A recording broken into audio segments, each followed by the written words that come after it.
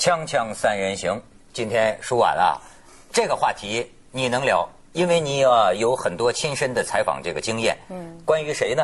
文道啊，你知道最近咱们有一个话题啊，我都没想到能够这么样的火。嗯，居然是关于老兵。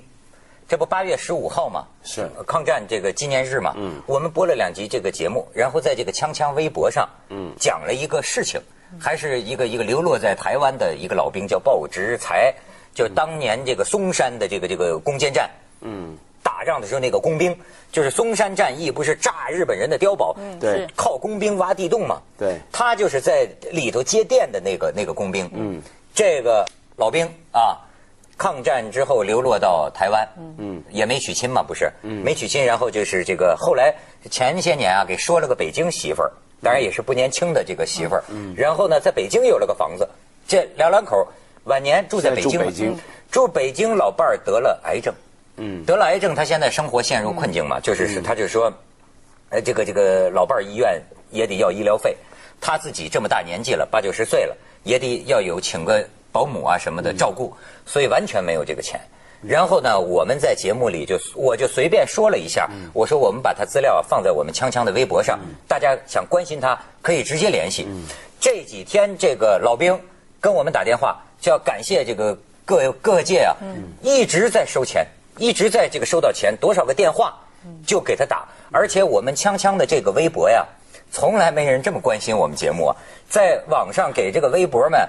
转发了五千多次，转发了五千多，所以让我感觉到最近很多人呢，其实谈这个老兵这个话题特别热。所以我说，舒婉，你在台湾见过很多老兵吗？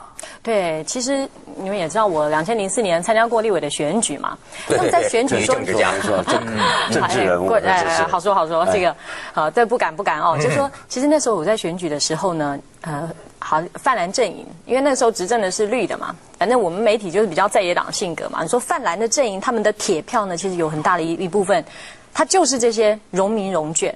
就是所谓的老兵北北，啊，我们讲的比较轻便，就是老老兵叫荣民哦，荣光荣的荣，因为他们就变成说，他们不论是他有很多嘛？他们占很多票嘛？人数还有很多票。你知道全台湾各个地方你能喊得出来的县市，其实多少都会有这些荣民的角落，而且各个地方几乎都会有荣民之家，你知道，就是很像我们所谓那种老人那种安养中心。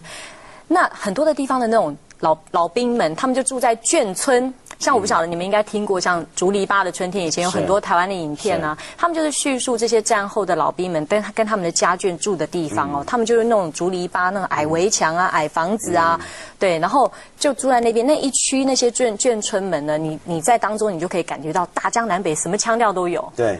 对，然后那时候我们去拜票的时候呢，挨家挨户的拜，那像有些人他有后代还很好，对，传宗接代有些后代很好，但很多北北我都看到，我们都讲北北嘛哈，很多北北他们就是一个人住。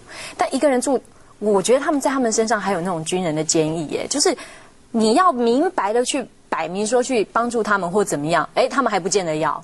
对，是吗？不对，你你得要像用日常生活化的语言，比如说我就注意到对面一个大婶，我就说，哎呀，他这平常都不太接受帮助，他一个人怎么过啊？然后隔壁的那个大婶就说，没事儿，他说我们平常就煮个大锅稀饭，就故意跟他吆喝说，哎，老王啊，这个就太多了，吃不完呐，赶快来帮忙吃，免得到了我也浪费。哎，这招就比较有用。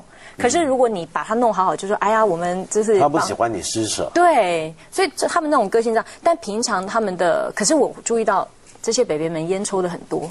嗯，我包子，我觉得在眷村里面，就是他们烟抽的特特别凶。哎呦，好多人一辈子没老伴儿啊，就没娶亲呐，打老光棍儿，这个生活这个苦闷的，比文道还苦闷呢。文道抽烟都抽成这样，我不苦闷，我很愉快的。嗯，不过我想说的是，那些农民啊，其实虽然在台湾受到待遇叫比较好，但也有一段比较难堪的日子。嗯，就是说，因为刚刚四九年他们到台湾的时候啊。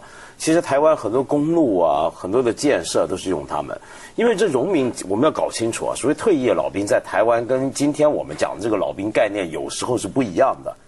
我们今天讲的老兵主要着重的是抗日战争的老兵，嗯，但台湾那个农民的概念范围比较广，他是整个帮国民党打过仗的都叫农民，包括甚至军人，嗯，对，包括那就凡是你是军人本身。还有你是他的家眷，这一大块的就是荣民荣眷。对，那这批荣民里面呢，有一些其实当年年纪很轻的，为什么？那就抓壮丁的抓的少年兵。对，有些七八岁的被抓上去，那么，所以他们现在其实呢，也都还挺老当益壮的，并不老啊。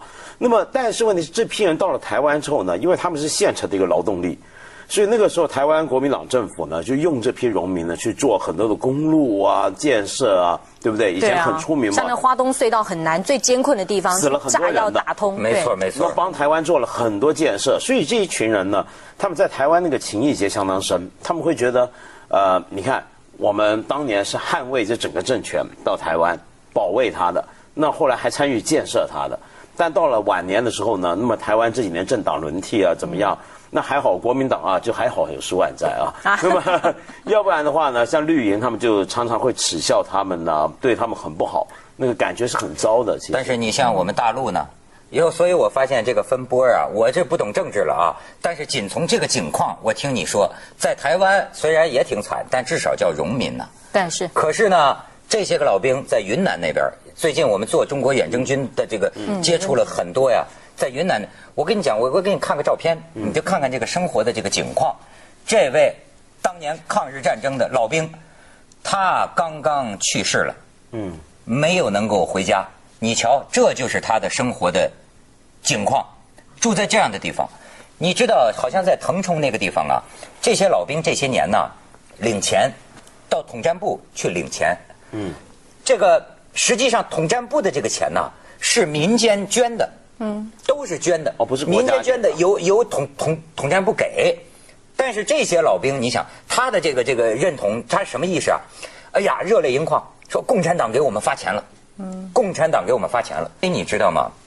一个民间组织，呃，现在从前几年开始啊，其实大陆就有一些网上很多民间组织，呃，民间组织授予他一个那个那个破塑料的一个那个抗战徽章吗？徽章，老头儿啊，里三层外三层啊，掖在最深的这个这个衣服里头，有一个民间。